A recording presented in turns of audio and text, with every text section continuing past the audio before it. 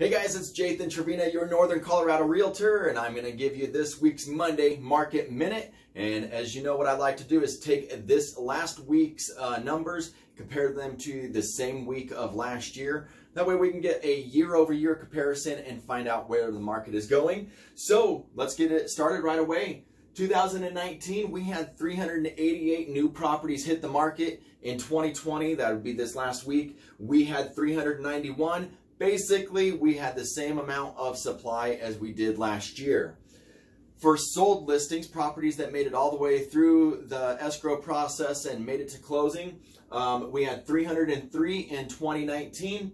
And in 2020, this last week, we had 362. So that means sold listings are up 19%.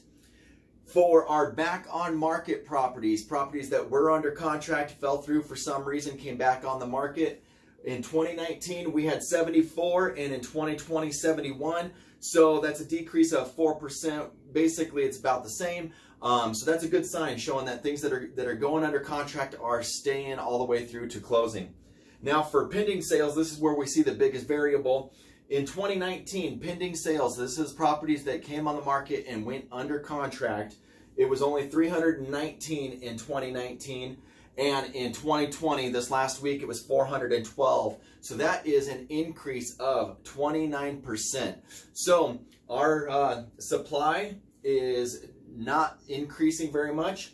Our pending, our properties that are going under contract, is increasing. If you look for 2019, there were 319 properties that went pending and 388 that came on the market. That means that 82% of the properties that came on the market went under contract.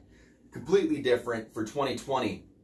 Things are moving. 412 properties went under contract, but we only had 391 properties come on the market. So 105% of the properties that are going on the market are going under contract.